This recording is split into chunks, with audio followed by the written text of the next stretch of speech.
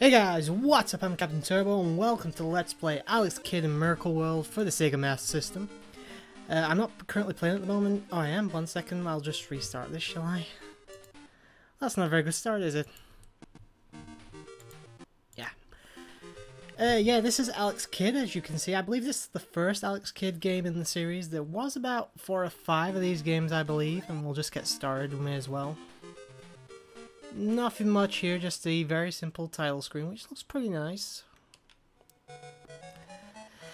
And yeah, um, this game I played for many, many years. This game actually came, one second, I'm just going to turn that down a little bit.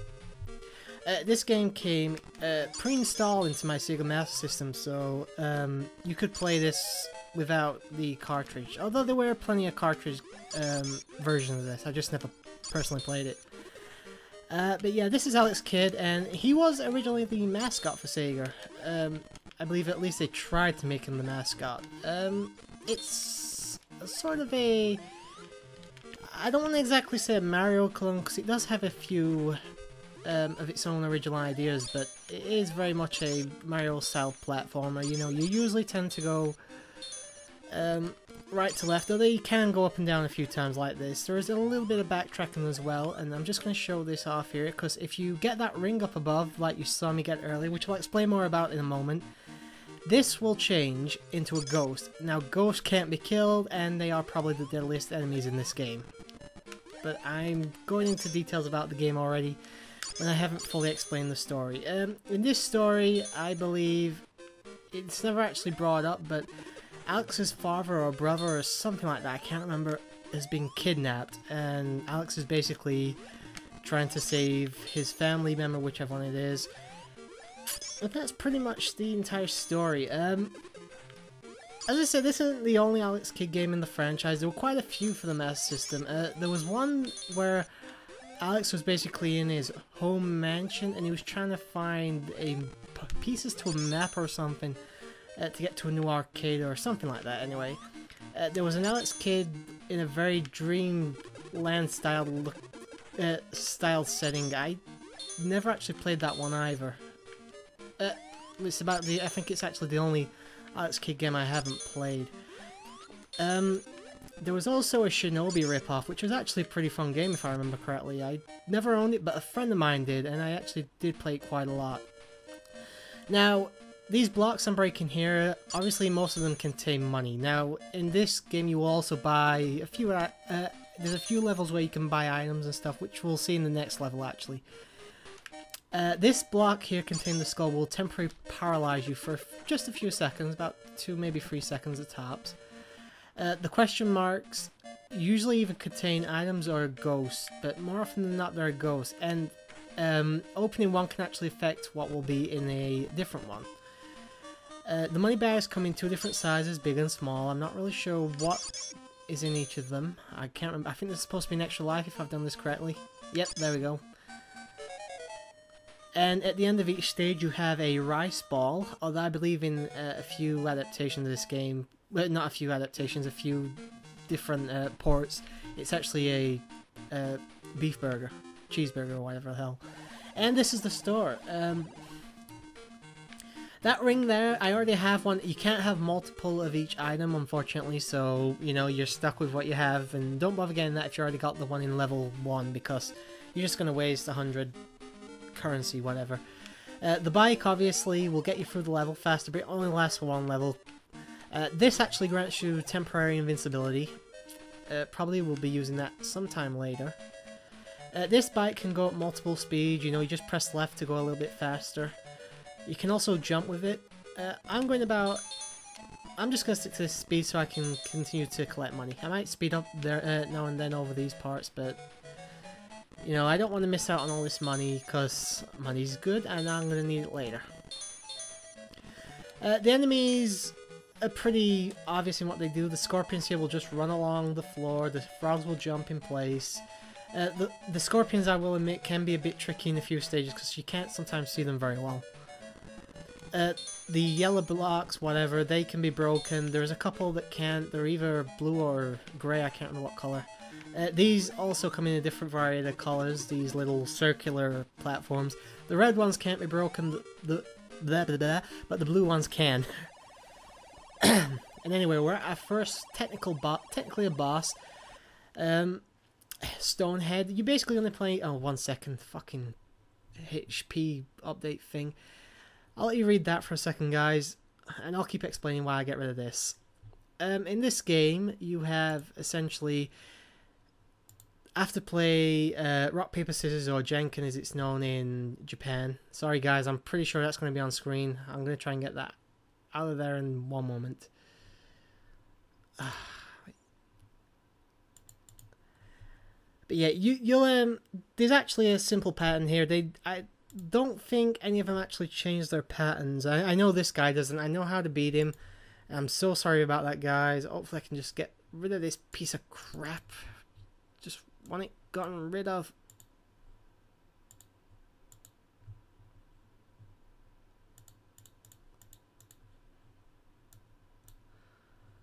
Ah!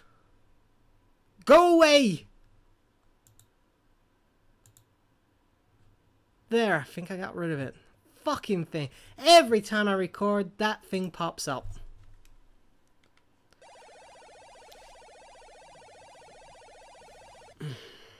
But here's a little jingle I like from this game. Uh, the first boss is always very, very easy to remember. It's stone and then scissors. I played this since I was like three years old. I, I could remember this in my sleep. I could play this boss in my sleep. Yeah, you'll get a little indicator above your head to show which um, you've chosen. Uh, you can get an item later in the game which will show what the boss is currently choosing. Uh, however, you have to go out your way a little bit to get it, but I'll show it off in a bit. Uh, this, I didn't actually know there was a second path in this level. I'll show you guys, and I've off-screened that. Oh, I haven't. I just got it. I thought I'd off-screen that just a bit, yeah, because if you, uh, you cannot backtrack in certain levels. You can in a, I don't think you can anyway. No, you can't. Uh, there's a few levels you can backtrack in, and I believe if you hit that octopus down there, should I show you guys? yeah, I'll show off the ultimate method. Use your invincibility, at least I hope this is the right one anyway. Go into your screen select, which is actually this. I'm going to show you this as well. Uh, the Alex icons over there represent your lives, the money bag with the number next to it's your money. The ring obviously is another item I have in my inventory. The score, you know, explains itself. And there you have the map. We have to travel all, all across that map pretty much. There's about 20 levels or something like that. Anyway, let's get back to the game. And that did not work for some reason. Did I fuck that up? Yeah, it's gone. Oh well. Guess I'm not showing it off. Uh, but yeah, there's an alternate path down there. There's really not much to say about it. It's just a quicker path. I'm not going to risk it though if I don't have my invincibility, so... Uh, the handling in these water stages is pretty good actually. It's not too bad. Um, you know, if you just hold your composure, you know, you keep your hand always on the direction pad. Never let go of it because you may end up um, veering off somewhere you don't know. If, if you don't press anything, like, I'm just going to go to the bottom here one second. If you go down, you don't press anything, Alex will just sit, um, float like a rock, uh, float like a bucket or whatever. Um, you can speed up if you press the keep your finger on the jump button while you're underwater. You, that'll help you to swim a bit faster. And I'm gonna showcase what I said earlier. As I said, the blue ones here can be broken. Uh, the red ones can't. Um, this level is actually where things start to get a little bit trickier now. Because while this game doesn't have terrible controls, it does have a bit of a slippery motion to it. I imagine the original Super Mario Brothers, but only a bit worse. And this is actually very difficult to do. I'm surprised I landed on that.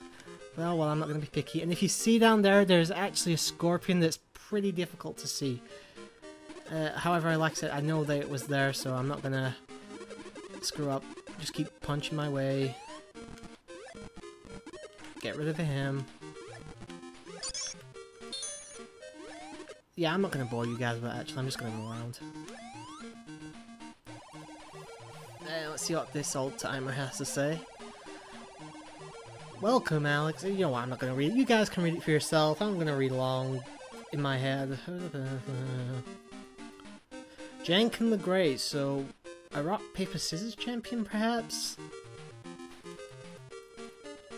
But yeah, it was actually um. Yeah, it doesn't actually tell us. Yeah, grab that one. Don't forget, that's the helicopter. Don't forget to grab that, because you can get a lot of money in this stage if, as long as you remain in the helicopter. Yeah, I, I'm trying to remember. I can't... It will tell you in a later stage if it's your father or your brother you're trying to save. I just can't remember which it is for now. If you accidentally run into one of those red things with your um, propellers at the top, you will lose the helicopter. You won't die, you'll just be sent into the underwater section, but the problem is the underwater section doesn't have as much um, cash to gra uh, cash to grab, so um, I would definitely recommend staying above water for this one. You can also shoot this little projectile, which has decent range, so you'll not really be in any danger as long as you, you know, take your time. As I said, this part just pretty much repeats, but there's a lot of money on for grabs here, so I would definitely recommend, recommend you try getting as much as you can. I know I'm pushing out a bit by not really going for the ones that are closer to the um, ceilings, but yeah, I'm just going to actually showcase what happens here. Hit that, and I nearly got hit by that thing there. Stay away, stay away. Oh!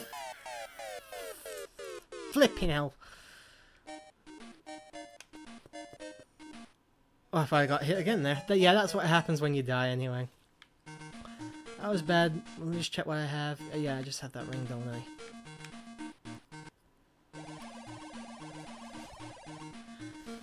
So yeah, we have another helicopter here for grabs. Uh, the A, I can't remember which one this does. Uh, there's basically I think the A actually creates a lot of small clones. I'm just to get the extra life while I'm here. Uh, basically, you'll see it a little bit later. I'll showcase it in the jungle level that's coming up very shortly. In fact, I'm going to have to play this level and then in the parts, so it'll be the next part probably. Also, yeah, as you can tell, the uh, helicopter has its own music, so... Which is actually quite kind of peaceful. Not gonna lie, it's not bad yeah, in terms of the music in this game, it's not, it's actually not bad. I mean, it's not my favorite Sega soundtrack. I mean, obviously, I love the Sonic music uh, pretty much in all the games. Uh, this one doesn't have a few bad tracks. Like, I love the um, first stage. I'm not a big fan of the underwater stuff. Gotta be honest, it's a little bit too... Um, I don't know what I'm trying to say here, guys. It's a bit too calm, if, uh, calm if I can explain it any other way. It's a little too soft. It's it suffers from a lot of uh, water level music, like the same in Mario and stuff like that. So, unfortunately, here, guys, you can't take. I don't know what the hell those are on the floor. Don't even ask me to explain them. Uh, you can't take the helicopter any further. Break that, and you have a boss, a bull. May as well use your ring on this. You're not going to use it any other time, really think this thing takes 8 hits, maybe 10, I can't remember. That's 4, 5, 6. He will get progressively faster as well. This guy...